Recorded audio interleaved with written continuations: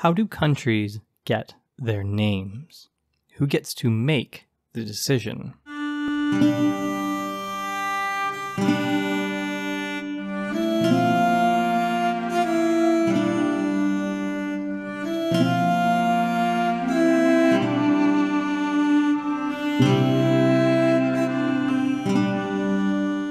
There's legacy and legitimacy in claiming a title. Apologies to anyone who saw a video titled Rome by Any Other Name and thought this was going to be a dive into the alt history where Remus was the better brother and we got the city of Rheims. No, this is about Byzantium and why we call it that. Why Rome ended sometime in the late 5th century when an entire state that called itself the Roman Empire existed for another thousand years after that. Moving forward, every time I say Byzantium, I mean the empire, and every time I say Byzantion, I mean the city yet to be known as Constantinople. Like Londinium for London, the root for Byzantion is entirely forgotten and left to speculation. And while confounding to etymology enthusiasts, the absence of an alternative meaning, in some way, allowed the location to stand with a unique name.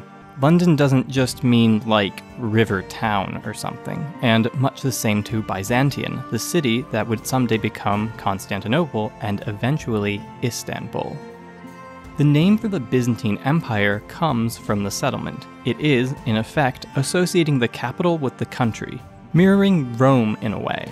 But while Rome grew from a city state kingdom to a republic into a continent spanning empire, keeping its name despite changing capitals more than once, Byzantium was simply chosen as a capital with the refounding and renaming of the city by the Emperor Constantine in 330 AD during the time of Eastern and Western Rome.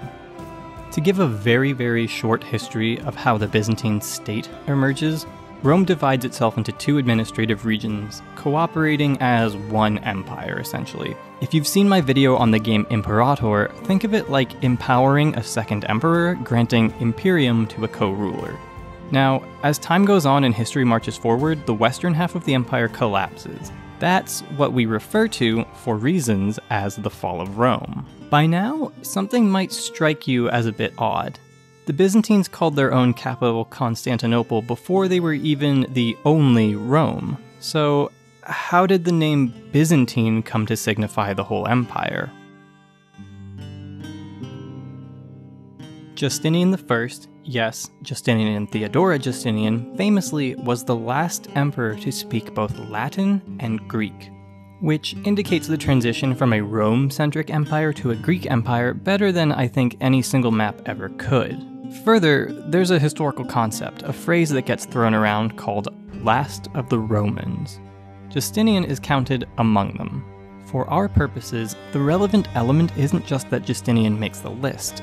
It's that other than some disconnected use by the British, the term tends to cluster its use around the 4th to 6th century CE among Romans. This page also has this funny long winded heading that I can't help sharing list of rulers who, in a more literal sense, also could be described as last of the Romans. Someone was having fun with this. As for the Greeks themselves, even as Latin faded from public use entirely, the common name for the empire among Greek speaking people was, forgive my pronunciation, Basileia Romaeon, and their people, Romoi. So if they're the Romans, how do they refer to the other Romes? The Byzantines fluctuated between various names for their imperial competitor, the Holy Roman Empire, usually referring to them as a Germanic or Frankish kingdom, which, to be completely fair, is correct to reality.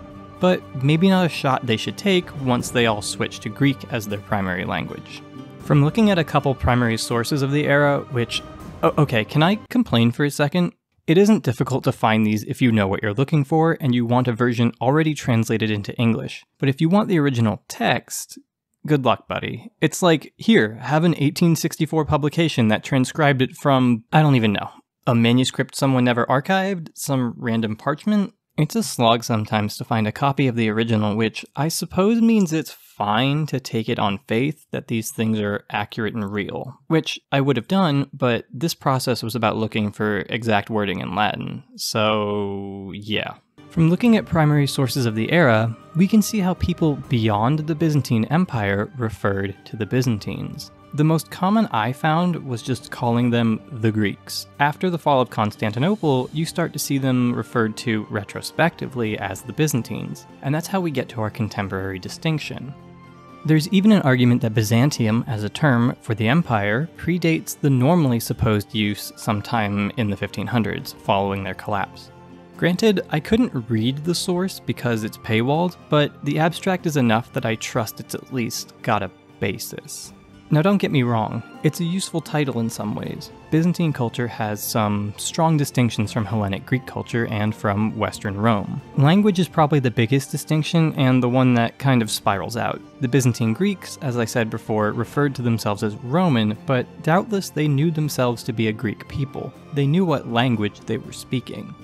As with many historical divides, part of this revolved around the religious divide between the Greek Orthodox Church and the Roman Catholic Church. Catholics, of course, having control over Rome, the city, had quite the argument for being able to deign Roman successors. Then again, the Romans were never Catholic, so hmm. Ultimately, when the Catholic West is given the ability to redefine the region of Byzantium with the establishment of the Latin Empire, they didn't. Now, as for why the French Crusader states established the Romanian slash Latin Empire rather than another Roman one, it was a political choice. The Latin Empire is a conscious distinction. Let's talk for a second about the other Romes the Latin Empire and the Holy Roman Empire. Holy Roman emperors styled themselves as Imperator Augustus for the most of the existence of the empire, as seen with this Louis example in 817 CE. Now, why would they do this? Why be Roman? Was Regna Germania not enough of a title? The concept of claiming Roman legacy is so pervasive in European culture that it has its own term and Wikipedia page, Translatio Imperii. The history of the term includes such transitive examples as Thrace into Norway, as well as some more arguable ones. The claim to a title was a powerful political tool that had everything to do with legitimacy, legacy, and authority. This is, in turn, the very same reason the Latin Empire was referred to as such, or as Romania. Anything so long as it wasn't Rome. The Latin Empire was not about to anger the HRE by laying claim to Roman authority, so they chose an adjacent name.